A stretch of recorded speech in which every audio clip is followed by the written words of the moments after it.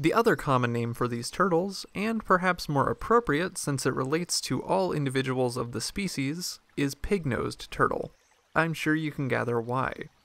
While these turtles are found within the Fly River in Papua New Guinea, they are also found elsewhere. For a long time, Fly River turtles were believed to only occur in Papua New Guinea.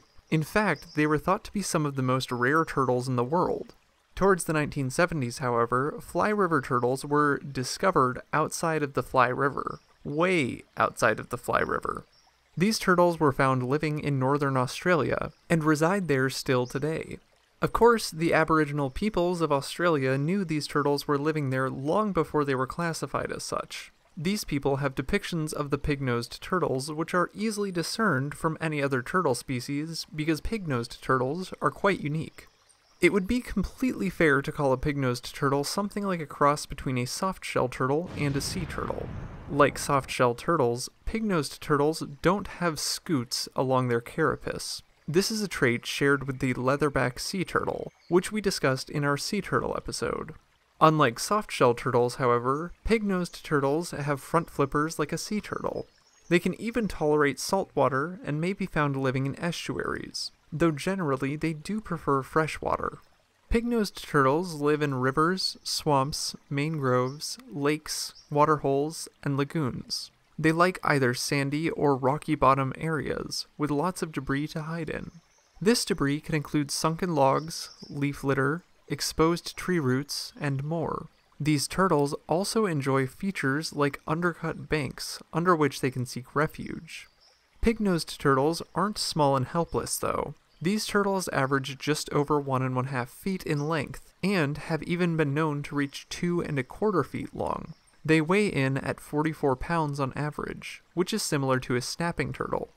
The only threats to adult pig-nosed turtles include predation by crocodiles and hunting by humans. Their nests may also be trampled. Fly River turtle nests can be found along the banks of rivers and even along some coastlines. Female Fly River turtles will emerge at night during the dry season from July to November to lay their eggs. These turtles tend to be nocturnal in nature anyway, and aren't built for much movement on land. They don't bask like pond sliders, but they are excellent swimmers thanks to their large front flippers. The ladies will often be seen in large groups to lay their eggs in nests they dig in the sand.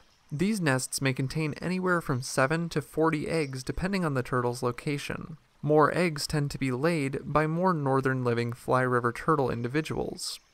The eggs are covered and develop but don't immediately hatch after development completes. The babies will remain tucked away until the nest floods with the onset of the rainy season. Often these nests will be raided for food or the pet trade, but pig-nosed turtles don't thrive in captivity and many won't survive. After they hatch, the young turtles will take to the water and seek out food in the form of snails, small fish, insect larvae, shrimp, crayfish, and more. As they get older, these turtles will begin to eat more plant-based foods, like aquatic weeds and fruits that have fallen into the water. How old they live in the wild is currently unknown.